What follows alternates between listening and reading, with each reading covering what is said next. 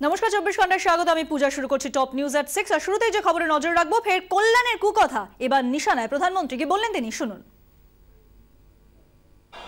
শুনে রাখুন, নরেন্দ্র মোদী! শুধু তাপস পাল, সুদীপ বন্দ্যোপাধ্যায় কেন? আপনি আমাদের চুয়ান্নটা এমপি কে উচ্ছেলে বললেও, পশ্চিম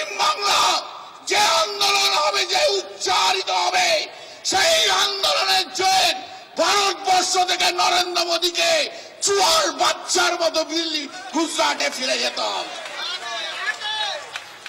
দু হাজার উনিশে আপনাকে চুয়া হয়ে যেতে হবে।